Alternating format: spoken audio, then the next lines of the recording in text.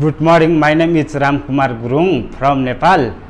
I am 43 years old, married. I have 3 uh, years work, uh, experience as a kitchen helper. Now I am going to show my skill. Thank you.